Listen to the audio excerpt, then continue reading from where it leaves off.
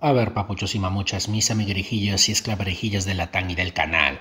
Volvemos con el tema de Gemita Auronplay. Auronplay Gemita. Ya saben de que Gonzabela es la mejor amiga de Gemita, por lo menos una de las más cercanas. De las fotos que se ha estado tomando Gemita en Tomorrowland y en otros lugares que ha viajado, que ha estado ahí dándose la gran vida en yate y toda la cosa, sale Gonzabela. También tenemos sus IRLs, ¿cierto? Bueno, Aquí ella da opinión, la verdad es que no lo he visto, pero Javi Oliveira nos lo está compartiendo. Gonzabela habla de lo que pasó con su amiga Gemita y ha pedido respeto para ambas. Siempre me han puesto de guarra para arriba. Vamos a ver lo que es un tema que a mí no me compete, como comprenderéis, porque si las dos personas afectadas no han querido por el momento hablar del tema, porque están en todo su derecho de dar las explicaciones que consideren cuando consideren, como comprenderéis, yo precisamente no voy a, dar ninguna explicación ni, ni, ni alegato ni... Creo que ella también suele hacer IRL, ¿cierto? Gemita dijo que iba a dar declaraciones el día de hoy por la publicación que, por cierto, le di una pasada y tiene 9 millones de reproducciones. ¿eh? Ya, dijo que iba a dar declaraciones hoy y creo que no lo ha hecho aún. Al menos no he visto pronunciación, no he visto ningún clip por ahí que esté rondando. ¿Cómo será? No voy a decir nada al respecto porque como comprenderéis, eh, yo soy amiga del tema y hasta ahí, ¿sabes? O sea, hasta ahí. Así que lo único que sí que me gustaría desde aquí es pedir respeto porque ya sabemos que Internet de repente día te ama, te adora y te quiere con todo su corazón, eres increíble, el siguiente día eres la mayor mierda del mundo. A mí nunca me ha pasado eso, ya lo digo por el chat. Porque... Mejor así ya. Que no sé si Papito YouTube se moleste por su escote. pues por suerte, por desgracia, siempre me han puesto de guarra para arriba. me han puesto de guarra de todo para arriba. Yo voy a hablar del tema que a mí me toca. Obviamente en Twitter, pues veo que hay gente que... Pero obviamente he visto gente que me ha mencionado diciendo... Ay, que no se puede pausar como en... No se puede pausar como en YouTube, ¿no? Ya, lo que iba a plantear es... ¿Y por qué la llaman guarraella? ¿Por cómo viste? ¿O por las fotos que se toma? No, Alancito, hay rumores. He leído más rumores por la cuenta de Agatitz, pero ahorita vamos a chequear, ¿sí? No de ella, sino de Gemita, porque la que está en el foco es Gemita, no Gonzabela. Pero sí que es cierto que son muy, pero muy cercanas. Otra vez, disculpen esa parte. Por suerte, por desgracia, siempre me han puesto de guarra para arriba. me han puesto de guarra de todo para arriba. Yo voy a hablar del tema que a mí me en Twitter, pues veo que hay gente que... Pero obviamente he visto gente que me ha mencionado diciendo que soy una cazapartners y una interesada. Yo, eh, pero bueno, es gente que, no les da. Yo hace muchísimo, muchísimo tiempo toqué el tema de Gonzabela, que ella había dicho que se sacaba sus 15 mil euros mensuales, más o menos. Y que pues, mucha gente explotó. Es como que se puso picón en eso yo la defendí. ¿Por qué? Porque ¿qué tiene malo que ganes tus 15 mil, tus 20 mil y te dedicas a streamear, ¿no? Era como que se estaban quejando los profesionales. Ah, pues qué pena, mano, qué pena. Si tú eres abogado, eres doctor y no te pagan lo que tú consideres que es, o te dedicas a otra cosa o te conformas con el sueldo que te dan o protestas, ¿no? De alguna forma, pero no te metas con la streamer. Deberías quejarte pues, no sé, con las entidades correspondientes para que te suban el sueldo. ¿Qué culpa tiene la otra? Es como que los tiempos cambian y entonces a raíz de que cambian los tiempos, hay nuevas necesidades. Nuevas necesidades del mercado que la gente pilla y pum, le dan. Hasta ahora seguimos en la moda, en la era del streameo, ¿no? Del streameo, la creación de contenido en internet. Ya no es tanto como que dependía tu vida eh, con la tele. Ahora tienes internet, su competencia, ¿no? Pero bueno pobres. Que sí que me gustaría, sobre todo, es pues, pedir respeto y comprensión, ser un poquito humanos, ¿sabes? O sea, que es muy fácil atacar desde una cuenta anónima, como siempre, porque siempre son cuentas anónimas, los muy cobardes, son unos putos cobardes de mierda. Eh, así que... Ya, ahí también estoy de acuerdo, y creo que todos estamos de acuerdo, ¿no?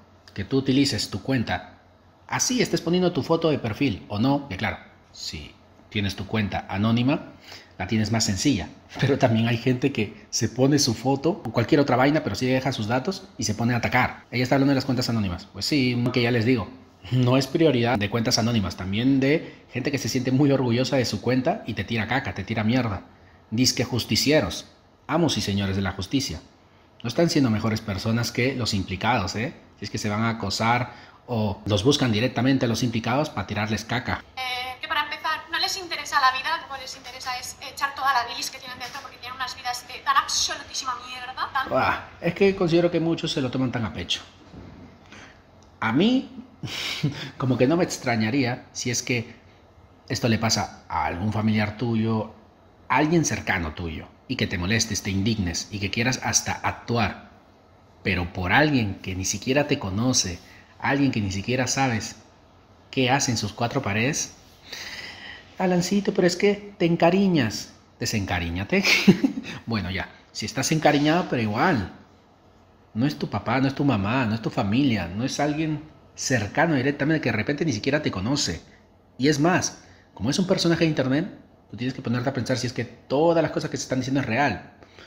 Ni siquiera lo has constatado, no lo has corroborado. Es como que te sale eso de la bilis, piensas que esto encaja con tu narrativa, con lo que te va a sentar bien para atacar a la otra parte y ya está, con eso lo tienes resuelto y así no es. Tristes, tan grises, tan, o sea, son tan irrelevantes para su, o sea, es que son personajes secundarios de su propia vida. O sea, lo único que quieren es echar mierda y están aprovechando esta situación. Así que me gustaría pensar que aquí no, no hay gente de, de, ese tipo y si la hay, pues os den un poco por el culo, la verdad. Espero que, que, no tengáis que pasar por lo mismo, la verdad. O sea, por una parte sí, para que empatizaseis, pero por otra parte espero que nunca tengáis que pasar por eso y, y saber lo que se siente. Y que claramente he dicho que yo, la gente está esperando que yo dé algún tipo de titular o lo que sea, van, van flipados y flipadas. Y para nada, eso, lo único que yo sí que pido desde aquí es respeto eh, a las dos partes, obviamente. Ya digo que bueno, titulares, siempre me han puesto de guarro para arriba. En algún momento quieren dar las explicaciones pertinentes, no los quieren dar, perfecto. Si, no quiere, si ya no te gusta uno de los dos, perfecto también, pero creo que es completamente innecesario ir a tirar mierda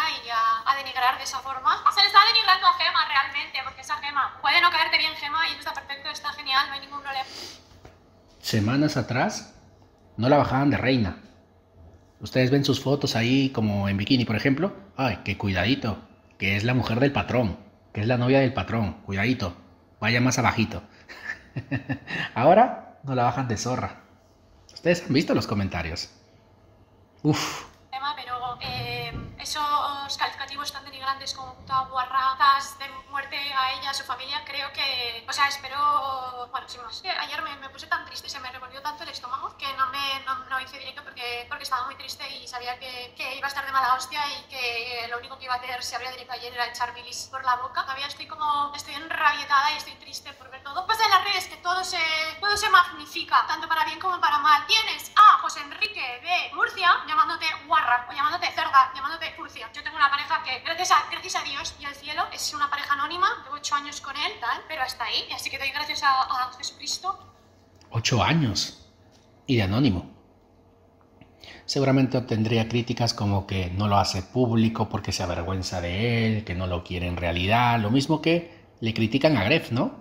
De que no hace pública su relación con Sofía a pesar que ella sí que sube contenido en Tailandia cuando él también se ha ido a Tailandia, o sea, se coinciden en todos lados, por ende están juntos, pero Gref aún no lo hace público.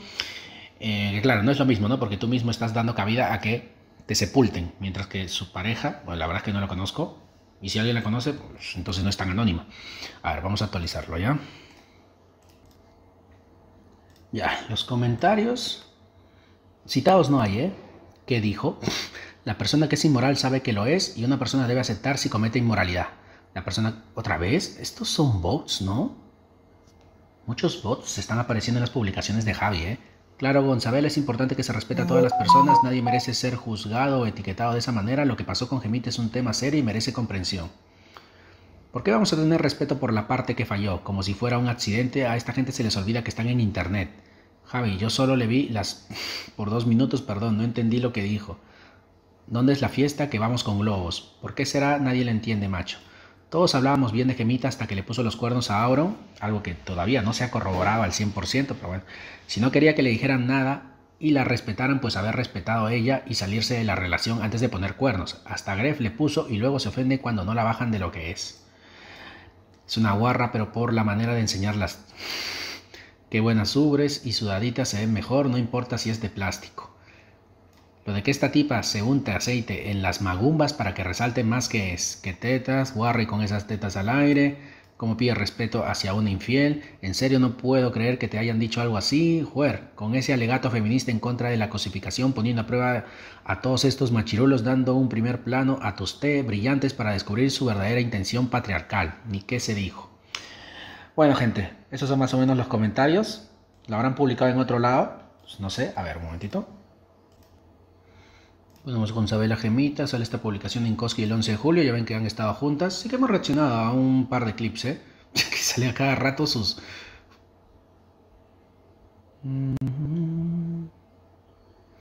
Bueno, gente, lo dejamos aquí, ¿eh? No sé qué fue lo que vi, un animal, que lo he corrido rápido y no me he fijado bien.